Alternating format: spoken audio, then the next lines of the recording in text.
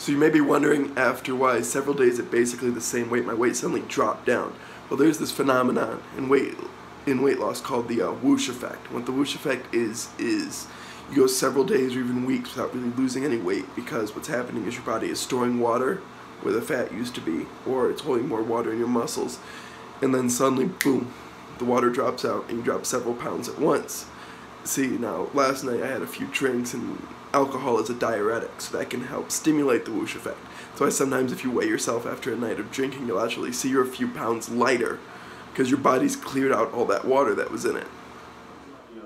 So, I need to make dinner tonight, but I'm not sure exactly what I'm going to have or even what ingredients I have, and I don't really feel like cooking off a recipe, so I'm going to improvise, so let's see what I can do, okay? Got some bacon. Bacon always makes things taste good. Let's see what I can do with bacon. Let's get this bacon going.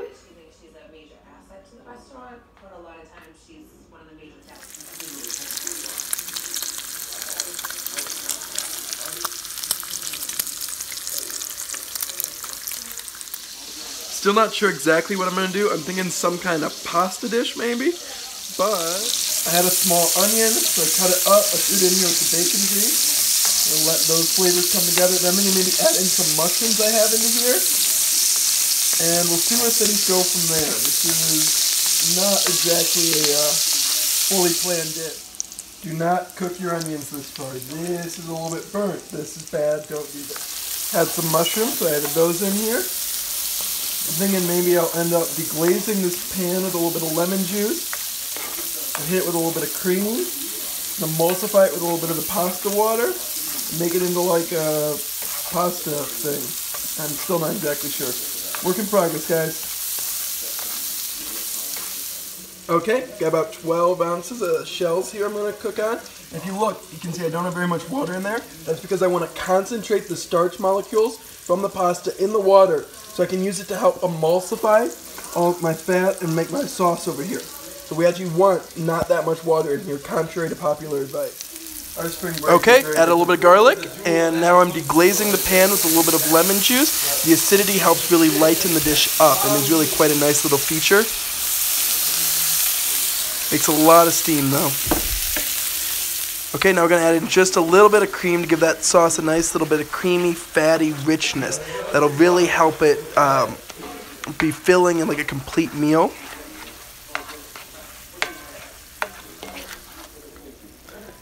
See? And we can see how it's starting to take on the color of the bacon grease and we add a little bit of the starchy pasta water to start emulsifying the sauce. Get a nice, good sauce that's going to cling to the noodles.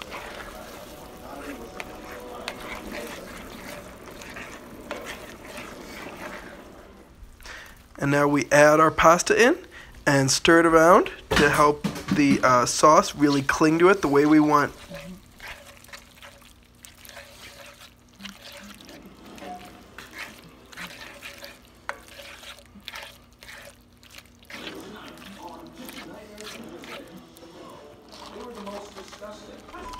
Okay, now I'm adding some Parmesan to get that good little bit of nuttiness, and it helps the sauce come together a little bit.